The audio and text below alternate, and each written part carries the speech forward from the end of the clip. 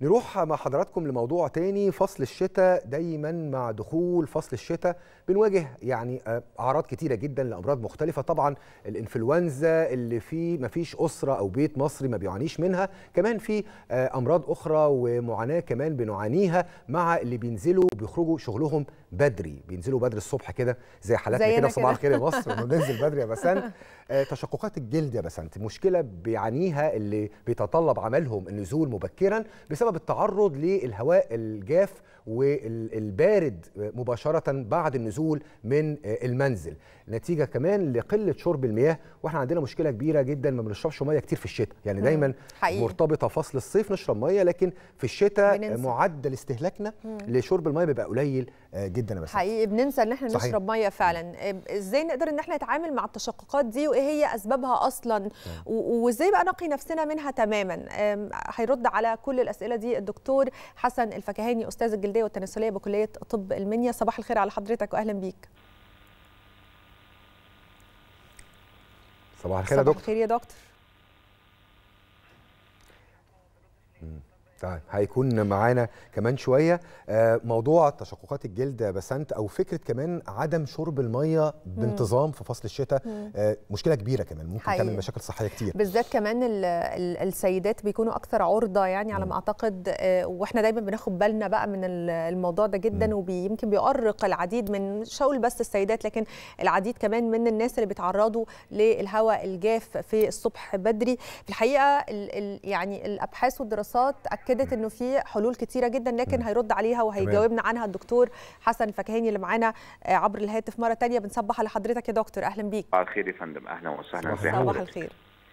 يعني في البداية ناس كتيرة جدا بتشتكي من التشققات الجلدية في فصل الشتاء. عايزين نعرف إيه هي أصلا بتحصل إزاي وأعراض ظهورها على الجلد إيه هي؟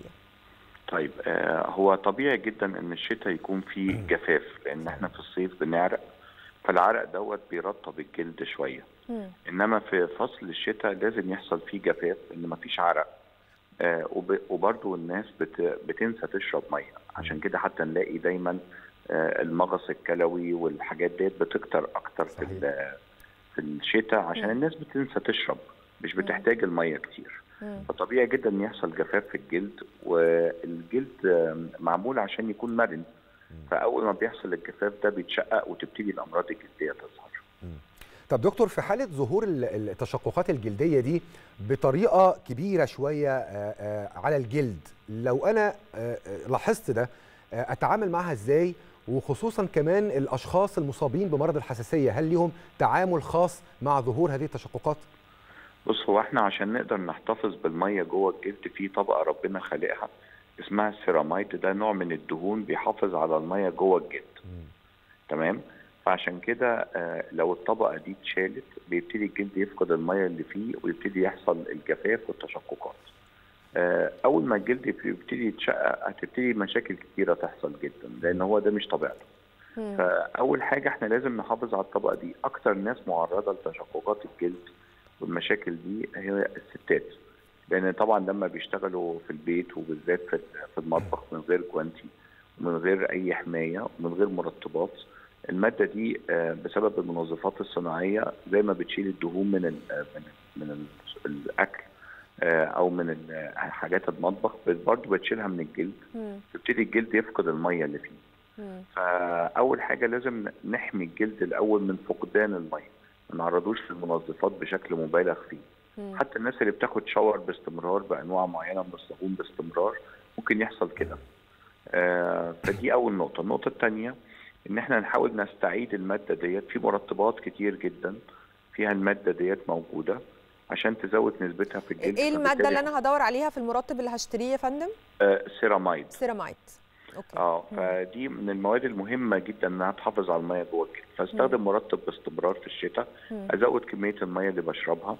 لو حصل بقى عندنا التشقق فعلا هنبتدي نلجأ للطبيب لأن طبعا يعني المرطبات مش دايما بتكون حل كافي. ساعات بنحتاج إن إحنا نشيل طبقات الميتة من الجلد ده عن طريق العلاج طبعا مش عن طريق أي جلسات أو تنظيف أو الناس اللي بتلجأ إن هي تروح تعمل محلات اللي هو الباديكير والحاجات دي.